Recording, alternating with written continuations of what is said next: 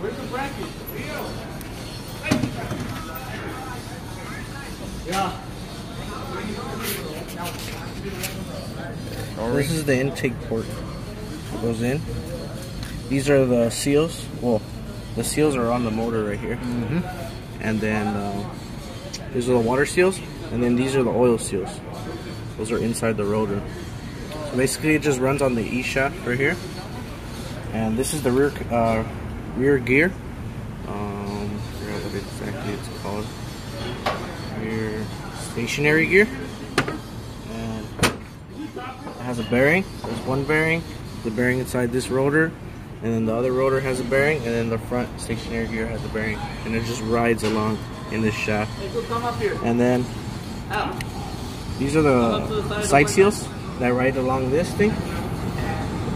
These are the corner seals. And then on each side, it has an apex seal with a spring. Each of them, everything has a spring. The oil seals have a spring. This thing has a spring. It literally pops up. And when you pull this rotor out, everything starts coming out together because it's a bunch of little stuff. Literally, like it just all falls apart.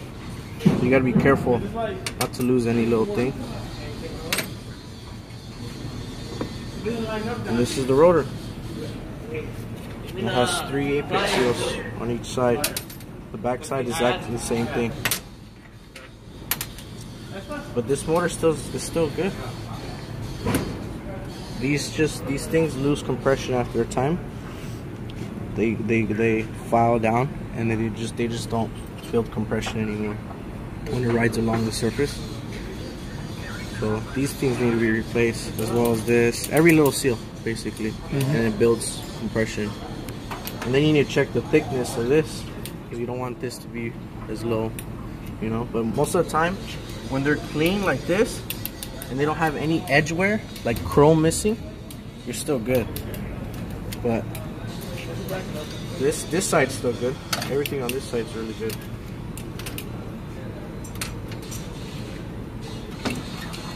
Then you gotta do the back. You gotta remove this back plate and the same process over. But that's pretty much it. Just all seals. That's all it is. and these dowel pins hold everything in place. But this is the coolant jackets where the water runs through. And it has the seals so that way it doesn't go into the combustion chamber. Same, same thing with the oil seals inside the rotor. Doesn't let it all spill out in the block. It just keeps mm-hmm. it in there, lubricates it in there. So that's, that's pretty much it. These these things are all wore down, so I'm gonna have to replace these. You got it?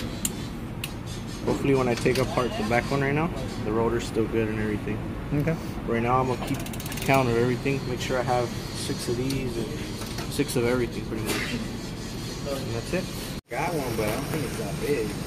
This one's really good. It has a little bit of edge wear, but all that could be resurfaced out. Right? So all you want to spine is like no big deep scratches or anything.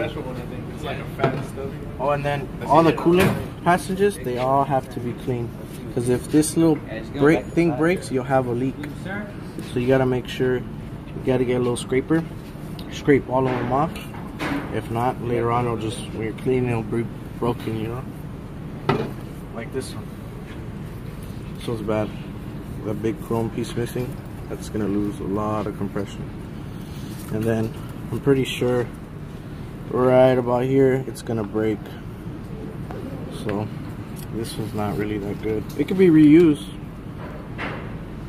but I wouldn't trust it at all. The rotors are good though. All the edges, they have no wear. Like you gotta make sure they're straight. All these are good. The bearings are clean too. There's no copper wear. That's where it's tighten the alternator too tight. That's good. The E shaft's good. There's a special tool to measure this, but as you can tell, it's, it's really good. Um, yeah, so this is the only thing that needs to replace. Everything else is salvageable.